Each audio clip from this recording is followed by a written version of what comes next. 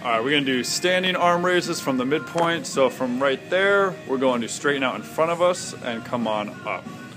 So then elbows down, good. From right there, just straighten forward, then come on up, good. Looking to make sure the lower back doesn't arch on the way up here, but we want it pretty much completely flat there. Good. Next, on the way up, we want to make sure those palms don't turn in. So turn them on in for a sec. Good. We want them always facing each other. Good. Also on the way up, we want to make sure the elbows pretty much face straight ahead. Don't let them turn out too much. And lastly, going with that, don't let the elbows turn out on the way down. Keep them nice and straight. So just do one bad rep there. Good, and then let them turn out on the way down. Good. Elbows and wrists are always nice and straight. Done.